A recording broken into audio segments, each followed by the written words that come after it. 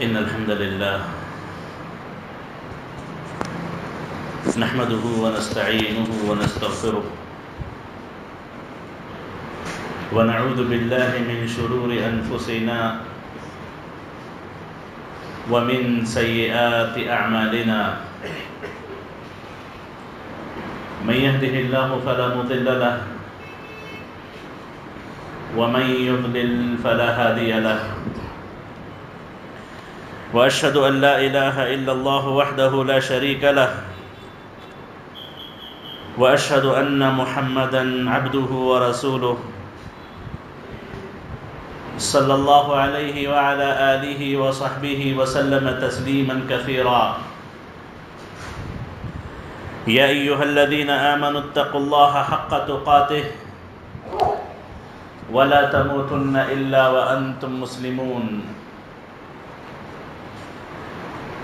يا أيها الناس اتقوا ربكم الذي خلقكم من نفس واحدة وخلق منها زوجها وبث منهما رجالا كثيرا ونساء. واتقوا الله الذي تساءلون به والأرحام. إن الله كان عليكم رقيبا. يا أيها الذين آمنوا اتقوا الله وقولوا قولا سديدا. يصلح لكم أعمالكم ويغفر لكم ذنوبكم. ومن يطع الله ورسوله فقد فاز فوزا عظيما. أما بعد فإن خير الكلام كلام الله وخير الهدى هدى محمد صلى الله عليه وآله وسلم. وشر الأمور محدثاتها وكل محدثة بدعة وكل بدعة ضلالة وكل ضلالة في النار. قال الله جل شأنه في كتابه المجيد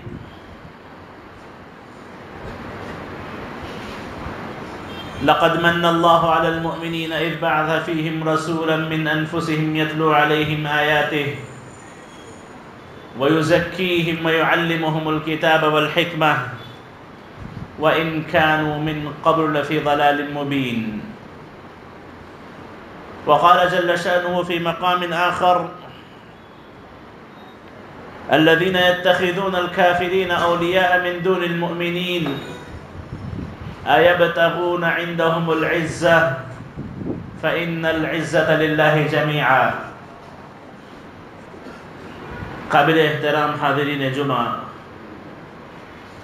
سب سے پہلے تمام تعریفیں، ہر قسم کی بڑائی، کبریائی، اسی اکیلے اللہ کے لیے لائق و زیبہ ہے۔ جس نے ہمیں دین اسلام جیسے عظیم دولت سے مالا مال کیا۔ بادہ درود و سلام ہو۔ اس نبی خدا محمد مصطفیٰ صلی اللہ علیہ وسلم کی ذات مبارکہ پر۔ جن پر درود و سلام۔ بندے کو اللہ کی رحمتوں، برکتوں کا مستحق بنا دیتا ہے۔ صلوات ربی و سلامہ علیہ۔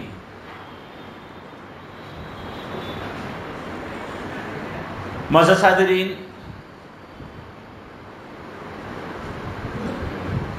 اس دنیا میں اللہ تعالیٰ نے جتنی دولتیں، جتنی نعمتیں نازل فرمائیں، مہیا فرمائیں، ان تمام دولتوں میں، ان تمام نعمتوں میں سب سے عظیم دولت سب سے عظیم نعمت نعمت اسلام ہے۔ جس کسی کو یہ دین اسلام نصیب ہو جائے، گویا دنیا کی سب سے بڑی دولت، دنیا کا سب سے بڑا انعام و اکرام اس پہ ہو گیا۔ یقیناً، اسلام وہ دین و مذہب ہے جو اس کے ماننے والوں کو اس دنیا میں عزت و رفعت، مقام اور بلندی عطا کرتا ہے، اور آخرت میں اللہ تعالیٰ کی رضوان، اللہ تعالیٰ کی رضامندی، اللہ تعالیٰ کی جنتوں کا حقدار بنا دیتا ہے۔ اور اس عظیم نعمت کا احساس اسی کو ہوگا جو اس نعمت کی اہمیت کو سمجھے، اس عظیم دولت کو پہچانے، وہی حقیقی معنوں میں اسلام کا قدر شناس ہے، اسلام کا قدردان ہے۔ اور ایک مسلمان کو اپنے آپ پہ اس اعتبار سے اللہ کا شکر گزار ہونا چاہیے کہ رب ذوالجلال نے اسے اس کا ماننے والا، اس کی عبادت کرنے والا بنایا۔ اس کی نبی کی امت میں پیدا کیا۔ حامل قرآن بنایا۔ متبع سنت بنایا۔ اور یہ بات بڑی ہی قابل فخر ہے۔ کہ اللہ تعالیٰ نے اتنی عظیم دولت سے ایک مسلمان کو مالا مال کیا ہے۔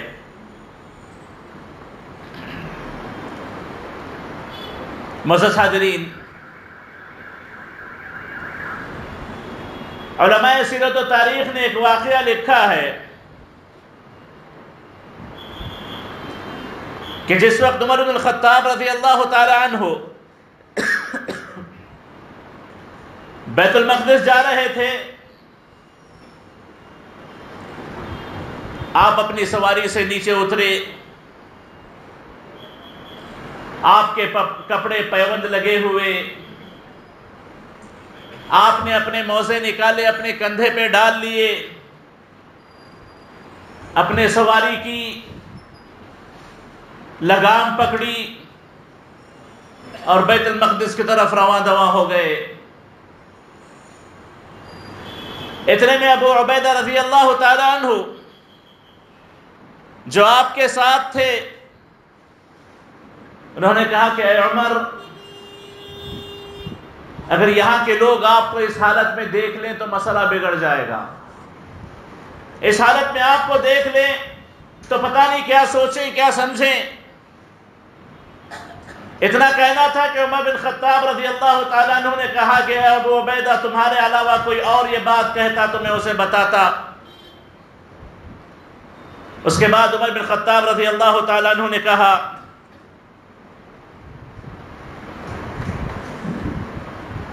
إِنَّا كُنَّا أَذَلَّ قَوْمٍ فَأَعَزَّنَ اللَّهُ بِالْإِسْلَامِ فَمَهْمَا نَطْلُبُ الْعِزَّ بِغَيْرِ مَا أَعَزَّنَ اللَّهِ أَذَلَّنَ اللَّهِ کہ خوشی پہلے ہم سب سے ذلیل قوم تھے سب سے حقیر قوم تھے۔ اللہ تعالیٰ نے اسلام کے ذریعے ہمیں عزت بخشی، ہمیں مقام دیا۔ اور اگر ہم جس کے ذریعے اللہ نے عزت عطا کی ہے، اس کو چھوڑ کر کسی اور ذریعے سے، کسی اور وسیلے سے عزتوں کو تلاش کرنے لگے، تو یاد رکھو اللہ تعالیٰ ہمیں دوبارہ ذلیل کر دے گا۔ بڑی عظیم بات عمر بن خطاب رضی اللہ تعالیٰ عنہ نے فرمائی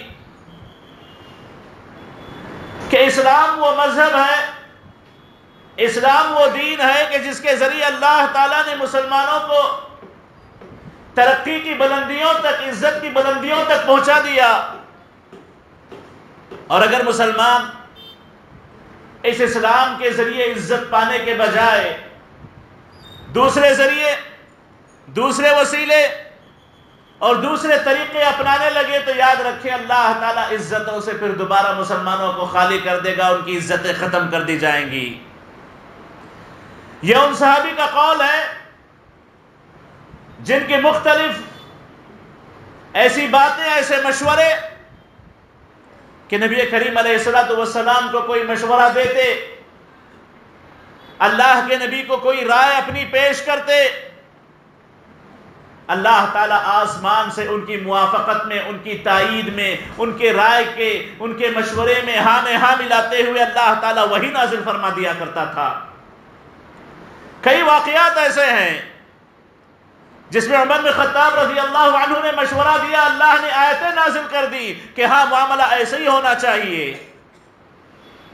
اور فرمایا نبی کریم علیہ السلام نے کہ ہر امت میں ایک محدث ہوتا ہے، ایک ملہم ہوتا ہے، جس پر الہامات ہوتے ہیں۔ اور اگر میری امت میں کوئی ملہم ہے تو عمر بن خطاب رضی اللہ تعالی عنہ ملہم ہے محدث ہے جن پر اللہ تعالی الہامات نازل کرتا ہے۔ اس عظیم صحابی کا ایک قول ہے جو اپنی جگہ بالکل حقیقت رکھتا ہے کہ جب مسلمان اسلام کے بجائے کسی اور کے ذریعے عزت حاصل کرنے کی کوشش کریں تو یاد رکھے اللہ تعالیٰ ان کو ذلیل کر کے رکھ دے گا۔ مزد حاضرین، یہی بات اللہ نے قرآن مجید میں کہی۔ ولا تہنو ولا تحسنو دیکھو، کبھی کمزور مت پڑو اور کبھی غم مت کرو، رنج مت کرو، افسوس مت کرو۔ اور یاد رکھو، وَأَنْتُمُ الْأَعْلَوْنَ إِن كُنْتُم مُؤْمِنِينَ۔ جب تک تم ایمان والے بن کے رہو، حالت ایمان میں رہو، یاد رکھو، اللہ کا وعدہ ہے، تم ہی سب سے سربلند رہو گے، تم ہی سب سے عزیز رہو گے، تم ہی سب سے زیادہ عزت والے رہو گے۔ اللہ تعالیٰ نے اس آیت میں مؤمنوں کے ساتھ وعدہ یہ کیا کہ وہ سب سے اونچے سربلند ضرور رہیں گے۔ شرط یہ لگائی۔ ان کنتم مؤمنین، اگر تم ایمان پر عمل پیرا رہو، ایمان کو مضبوطی سے تھامے رہو۔ حاضرین،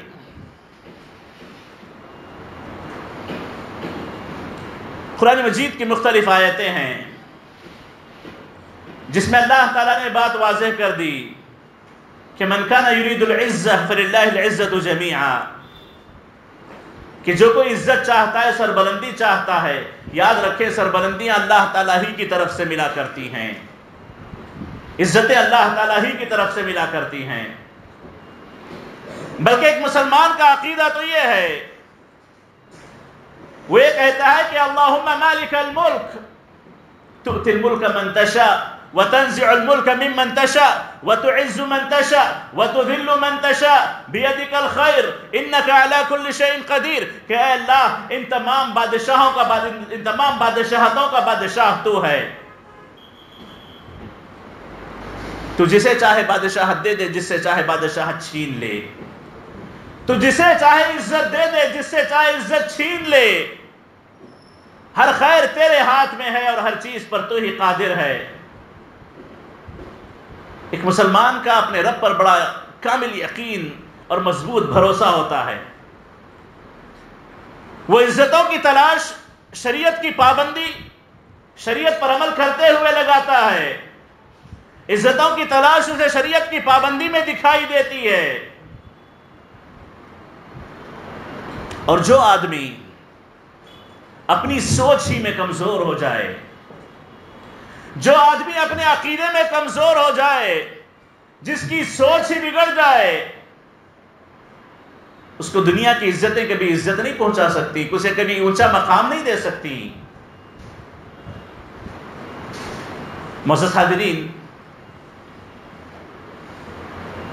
ذرا ہم اپنے حالات پر، اپنے معاشرے پر، اپنے آس پاس نظر ڈالیں۔ بڑے افسوس کے ساتھ ایک حقیقت ہمارے سامنے آشکارا ہوتی ہے، ظاہر ہوتی ہے کہ آج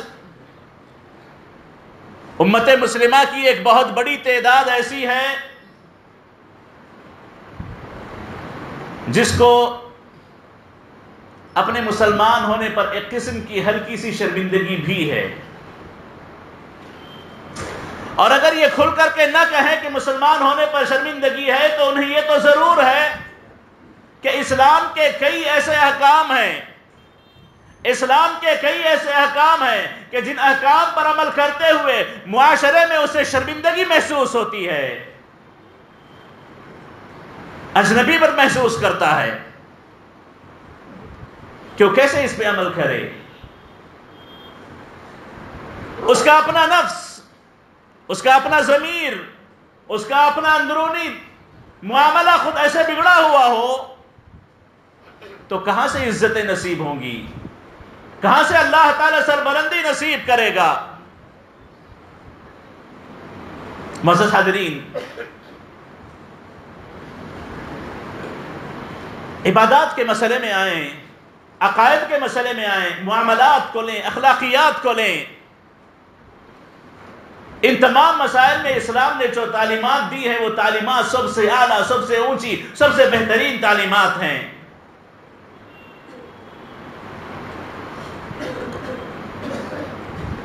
کچھ مثالیں میں آپ کے سامنے دوں کہ جس میں مسلمان اپنے آپ کو شریعت کا پابند بنانے میں شرمندگی محسوس کیا کرتے ہیں۔ میں کچھ موٹی موٹی مثالیں دوں گا۔ باقی دلوں کے حالات، بندہ جانے، اس کا رب جانے۔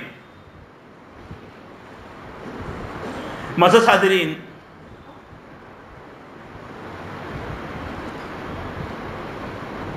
عبادات کے مسئلے میں پنج وقتہ نماز کی پابندی اس کو اپنی سنت کے مطابق ادا کرنے کی کوشش کرنا۔ نبی کریم علیہ السلام وسلام کے طریقے کے مطابق ادا کرنے کی کوشش کرنا۔ اور اس کے ارکان، اس کے واجبات، اس کے مستحبات، اس کے سنن، ان تمام کی پابندی کرنا یاد رکھیں، ایک مسلمان کا شیوا ہے جو نبی کریم علیہ السلام والسلام کی سنت سے محبت رکھتا ہے۔ اور آپ کی عبادتوں پہ، آپ کے طریقے پہ چلنا اور عمل کرنا چاہتا ہے۔ لیکن بتائیں ہم میں سے کتنے ایسے ہیں جنہوں نے عبادات کے معاملے میں نبی کریم علیہ السلام والسلام کی سنتوں کو چھوڑ رکھا ہے۔ کبھی اپنے معاشرے کا ڈر، کبھی کسی دیکھنے والے کی نظر کے شرم، کبھی جھجک یا پھر اسی طرح سے کئی قسم کے ایسے وسوسے اور وہم دلوں میں ہم نے پال رکھے ہیں کہ عبادتوں کی پابندی کرتے ہوئے میں شرم محسوس ہو۔ مسد حاضرین اخلاقیات کو لیں۔ ایک مسلمان کا لباس کیسے ہونا چاہیے؟ اس کا ڈیل ڈول کیسے ہونا چاہیے؟ اس کے صفات کیا ہونے چاہیے؟ اس کی زبان کیسے ہونی چاہیے؟ یہ تمام تعلیمات ہمیں اسلام میں ملتی ہیں۔ لباس کے مسئلے کو لے لیں۔ ہم میں سے اکثریت ایسی ہے جو اس بات پر شاید سامنے والے سے ایکسکیوز کر لے، سامنے والے سے معذرت چاہ لے، معافی مانگ لے، اگر اس کی پتلون، اس کی پینٹ ٹکنے سے اوپر چڑھی ہوئی ہو۔ معاشرے میں بڑا عیب دار نظر آتا ہے کہ اگر کوئی آدمی سنت پر عمل کرتے ہوئے اپنی پینٹ کو، اپنے پاجامے کو ٹکنے سے اوپر رکھے، اسے شرم محسوس ہوتی ہے۔ اور خصوصاً میں یہ کہوں کہ ہمارے معاشرے کا تھوڑا سا اونچا طبقہ الائٹ طبقہ، وہ یہ تصور کرتا ہے کہ یہ اسلام کی ان بنیادوں میں سے نہیں ہے کہ جن پر اسلام قائم ہے۔ مسد حاضرین، مسئلہ یہاں پر پینٹ کے نیچے اور اوپر ہونے کا کم دلوں میں اسلام کی عزت سنت کے مقام کے ہونے کا زیادہ ہے۔ دلوں میں آپ کے سنت کا مقام کتنا ہے، اسلام کے احکام کا مقام آپ کے دلوں میں کتنا ہے، آپ کی سوچ کیا ہے؟ مسئلہ یہ ہے، مسئلہ صرف یہ نہیں ہے کہ کسی کی پینٹ اوپر نیچے ہو جائے، یقیناً ٹخنوں سے اوپر رہنی چاہیے، لیکن بندہ اس کے بجائے اپنی سوچ پر، اپنی، اپنے اس ذہن پر، اپنی اس دماغ پر ذرا سا نظر دوڑائے کہ کیسی سوچ اس نے پال رکھی ہے۔ شرم کس بات کی؟ محسوس حاضرین، اور اسی طریقے سے ایک اور بات بھی میں کہہ دوں۔ اگرچہ کہ اس میں عزتوں کا بھی دخل ہے، انسان کی اپنی شہوت کا بھی دخل ہے، اسلام ہمیں داڑھی چھوڑنے کا حکم دیتا ہے۔ داڑھی کاٹنے سے نبی کریم علیہ السلاۃ والسلام نے منع کیا۔ اور یہ کوئی اختیاری مسئلہ نہیں ہے کہ آپ چاہیں تو رکھیں، چاہیں تو چھوڑ دیں۔ بلکہ علماء کرام کے اخبار و استعمال کے مطابق یہ واجب ہے۔ اور داڑھی کا مونڈنا حرام ہے۔ کئی ایسے ہیں ہمارے اپنے مسلمانوں کے درمیان کہ جو اپنی شہوت کی وجہ سے ہو سکتا، داڑھی نہ چھوڑتے ہوں۔ اور وہیں پر ایک بہت بڑی تعداد بھی ایسی ضرور ہے جن کو داڑھی چھوڑتے ہوئے شرم محسوس ہوتی ہے۔ سبحان اللہ۔ اگر سوچ ایسی ہو، اگر دماغ میں ایسا فطور ہو اسلام کے احکام کو لے کر کے ایسی سوچ اگر کوئی بندہ پالے، تو جس اسلام کے ذریعے اللہ نے عزت دی، یاد رکھیں، اسلام کے علاوہ داڑھی موڑ کر کوئی عزت لینا چاہتا ہے، اسلام کے حکام کو چھوڑ کر کوئی معاشرے میں اونچا بننا چاہتا ہے، یاد رکھیں، اللہ تعالیٰ ان کو کبھی عزت نہیں دے گا، ذلیل کر کے رکھے گا۔ یہاں پر میں صلیف صالحین کا وہ قول کہہ دیتا ہوں۔ کسی نے کہا کافروں سے متعلق کہ وَإِن تَقْتَقَتْ بِهِمُ الْبِغَالِ وَهَمْ لَجَتْ بِهِمُ الْبَرَاذِينَ فإن ذل المعصية لا يفارق وجودهم ان اللہ اب اللہ الا ان يذل من عصاه۔ کہتے ہیں کہ اگرچہ لوگ اپنی ترجمہ تو یہ ہے کہ اگرچہ کہ خچروں پر وہ اس وقت خچروں پہ سواری ہوا کرتی، جانوروں پہ سواری ہوا کرتی تھی، جب یہ قول سلف سلف صالح میں سے کسی نے کہا تھا خچروں پر وہ بڑی ہی تنتراخ کے ساتھ چلنے لگے۔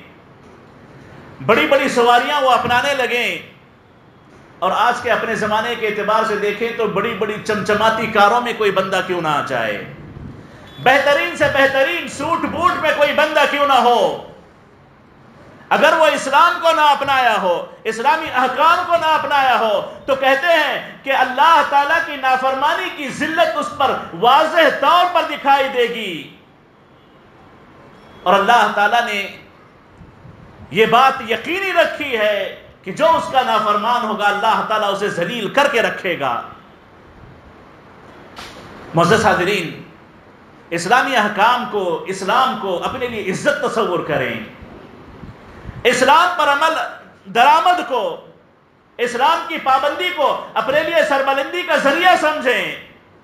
جو قوم، عرب کی قوم سب سے بدترین حالت میں تھی، اخلاق کے اعتبار سے، عقائد کے اعتبار سے، معاملات کے اعتبار سے، ہر اعتبار سے پچھڑی قوم تھی۔ اللہ تعالیٰ نے ان کو عزت و مقام عطا کیا، سربلندی عطا کی۔ اس وقت کی بڑی بڑی طاقتوں کو ان کے سامنے جھکا دیا۔ تو صرف اس وجہ سے کہ انہوں نے اسلام کے ذریعے عزت کو اپنایا۔ ایک تاریخی واقعہ آتا ہے، جس کی صحت مطلوب ہے۔ غزوہ خندق کے موقع پر نبی کریم علیہ السلام والسلام سے مروی ہے کہ آپ نے عینہ ابن حسن سے یہ مشورہ کیا، ان کو یہ بات بتائی۔ اور یہ اس وقت جب تمام قبیلے آ کر کے مدینے کو گھیر لیے ہوئے تھے۔ غزوہ احزاب کا موقع ہے۔ اور یہ موقع ہے کہ جس وقت مسلمانوں کو مکمل ختم کرنے کی سازشیں ہو چلی ہیں۔ روایات میں آتا ہے، جس کی صحت مطلوب ہے، کہ اللہ کے نبی علیہ السلام نے عینہ ابن حسن سے کہا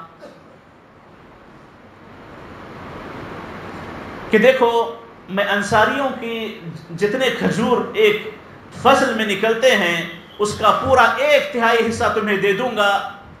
تم جا کر کے معاملات کو ایسے کر دو کہ احزاب یہاں سے واپس چلے جائیں، قومیں واپس چلے جائیں۔ اور جنگ میں تدبیریں ہونی چاہیے۔ جنگی تدابیر ہو سکتے ہیں۔ جنگ میں یہ تدبیر بھی ہو کہ سامنے والوں میں پھوٹ ڈالی جائے۔ تو روایات میں آتا ہے کہ اللہ کے نبی نے کہا کہ مدینے کی کھجور کی فصل کا ایک تہائی حصہ ون تھرڈ حصہ میں تمہیں دے دوں گا۔ جا کر کے تم ان احزاب میں پھوٹ ڈال دو کہ واپس یہاں سے نکل جائیں۔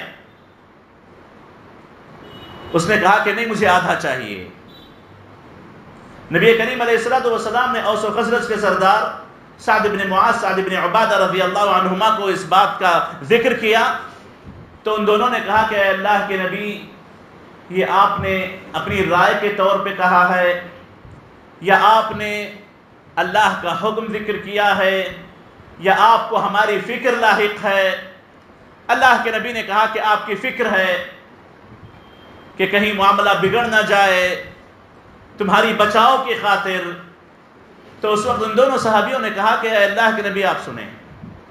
جب ہم لوگ شرک میں تھے، آپسی اختلافات میں تھے تب بھی ان قبیلوں میں سے کوئی قبیلہ ہماری کھجور کو یا تو مہمان نوازی کے طور پر استعمال کیا کرتا تھا یا خرید کر کھایا کرتا تھا۔ اب ہم اللہ نے ہمیں اسلام کے ذریعے عزت دی ہے۔ آپ کے ذریعے اللہ نے ہمیں اونچا مقام عطا کیا ہے۔ اب اس کے بعد ہم کسی کو اس انداز سے کھجور دیں، دے کر کے اپنا کام کروائیں، یہ کبھی نہیں ہو سکتا۔ اگر کوئی معاملہ ہو سکتا ہے تو تلوار کے ذریعے ہم فیصلہ کریں گے۔ یہ سوچ تھی یہ سوچ تھی صحابہ کرام کی، یہ سوچ تھی مسلمانوں کی کہ جب اللہ نے اسلام کے ذریعے عزت دی ہے تو اسی اسلام کے ذریعے عزت لیں گے، کسی اور ذریعے سے عزتوں کو نہیں اپنائیں گے، کسی اور ذریعے سے عزتوں کو تلاش نہیں کریں گے۔ معزز حاضرین سب سے پہلے انسان کا اپنوں اندرونی حصہ مضبوط ہونا چاہیے۔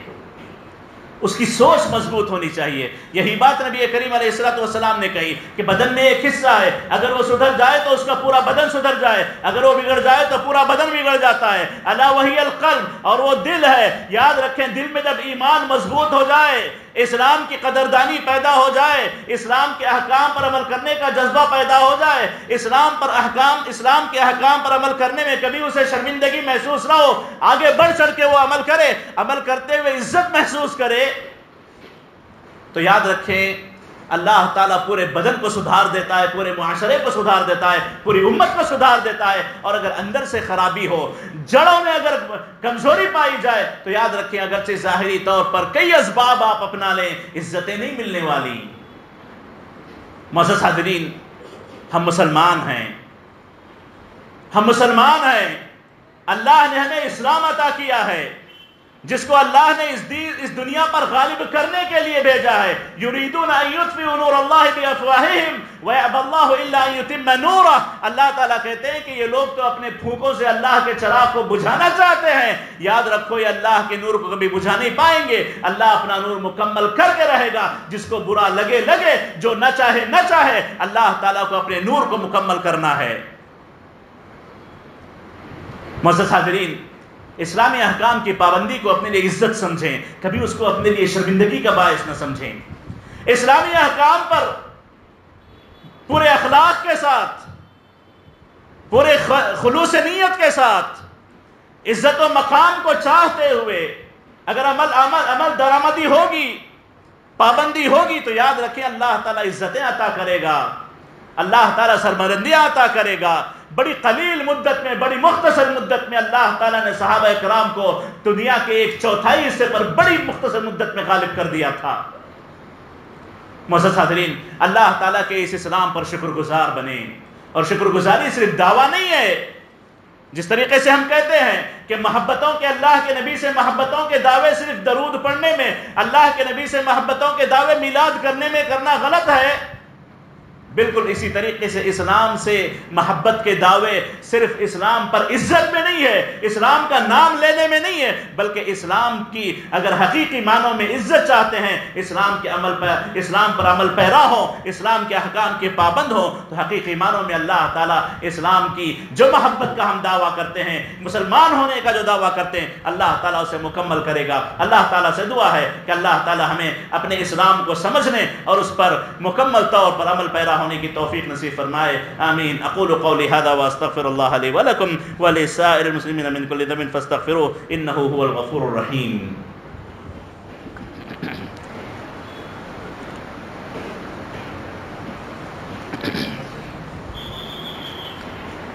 الحمد لله رب العالمين.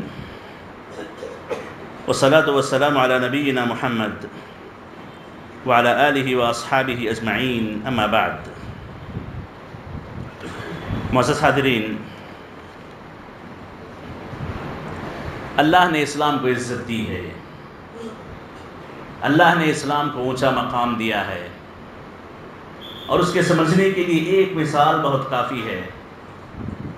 یہ اذان جو ہم دن میں پانچ مرتبہ یا چھ مرتبہ اگر تہجد کے اذان کو ملا لیں، تو چھ مرتبہ یا اسے چھوڑ دیں تو دن میں پانچ مرتبہ پوری دنیا کے سامنے ببانگ دہل اعلان کرتے ہیں، اللہ اکبر اللہ اکبر، کہ اللہ سب سے بڑا ہے، اللہ سب سے بڑا ہے۔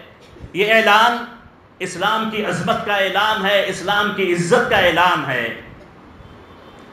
اور اس اذان میں اللہ تعالیٰ کی وحدانیت کا اعلان کیا جاتا ہے۔ اللہ کے نبی کی رسالت کا اعلان کیا جاتا ہے۔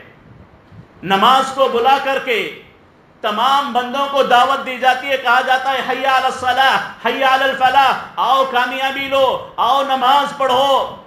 جس جس کے کام میں بات پہنچے، سب کو دعوت ہے۔ جس جس کے کام میں بات پہنچے، سب کو دعوت ہے۔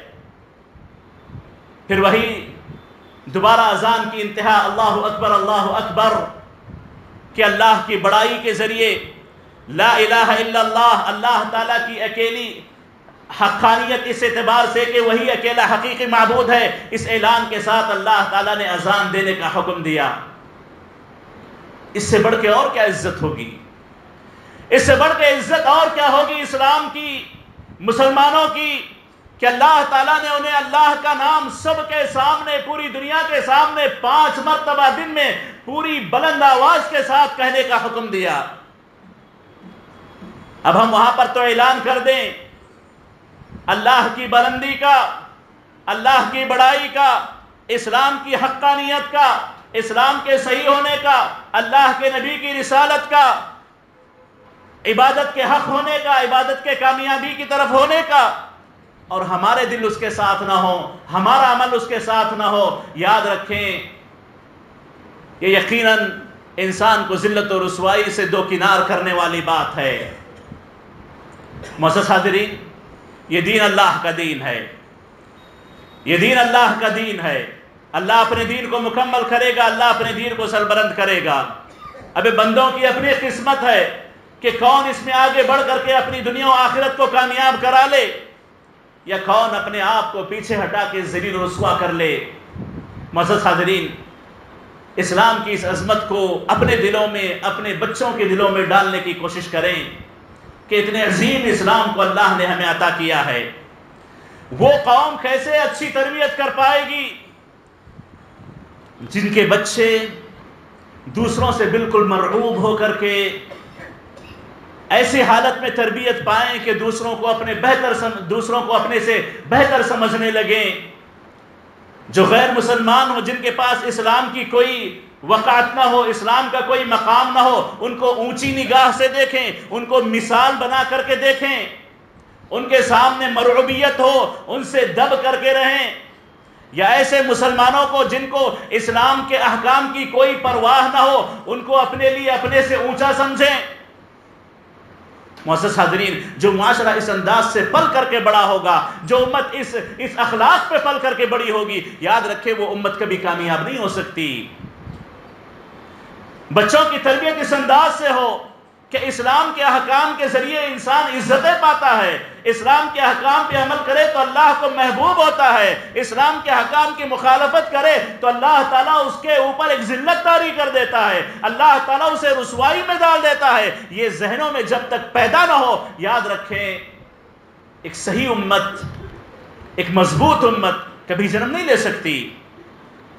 اور وہ امت یا وہ تربیت جس میں انسان دوسروں کی صرف تقلید میں چلا جائے، دوسروں کو کاپی کرنے میں چلا جائے، اور کن کو کاپی کر رہا ہے؟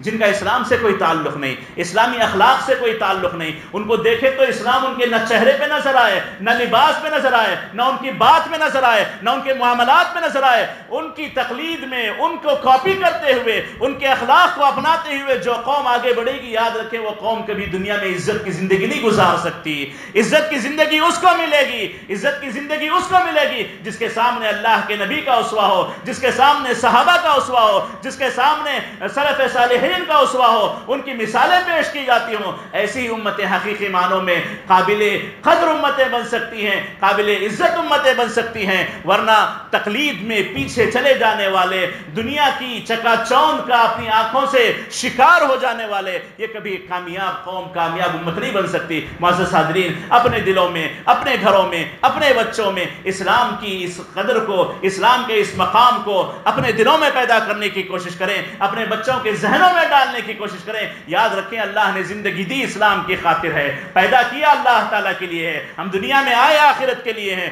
دنیا بس ایک گزر جانے کی جگہ ہے۔ دنیا ایک گزر جانے کی جگہ ہے۔ جس کے اگلے کل کی کسی کو کوئی ضمانت نہیں ہے۔ جس کے اگلے کل کی کسی کو کوئی گارنٹی نہیں ہے۔ اللہ کے نبی نے کہا تھا کہ کن فی دنیا کا ان کا غریب و عابر سبیل۔ دنیا میں ایسے رہو جیسے اجنبی کسی اجنبی جگہ پہ آ کے رہتا ہے۔ یا کوئی مسافر راہ چلتے چلتے کہیں سستانے کے لیے اترتا ہے۔ ایسی زندگی گزارنے کا اللہ کے نبی علیہ السلاۃ والسلام نے حکم دیا۔ تو مزد حاضرین اسلام سے عزتیں حاصل کرنے کی کوشش کریں۔ اسلام پر عمل پیرا ہو اسلامی احکام کی پابندی کریں۔ اور کہیں کوئی اپنے دل میں، کہیں کوئی اپنے دل میں یہ خیال پائے کہ اسلام کے فلاح حکم پر عمل پیرا ہونے میں مجھے شرمندگی محسوس ہوتی ہے، تو معزز حاضرین وہ اپنی فوری اصلاح کرے۔ وہ اپنے آپ کو فوری سدھارنے کی کوشش کرے۔ وہ اپنے آپ کو فوری راستے پر لانے کی کوشش کرے، یاد رکھیں اللہ تعالیٰ نے احکام عزتوں کے لیے دیے ہیں۔ اللہ تعالیٰ نے احکام ان کی فلاح و کامیابی کے لیے دیے ہیں۔ اور اللہ تعالیٰ نے ان میں بڑی کامیابیاں،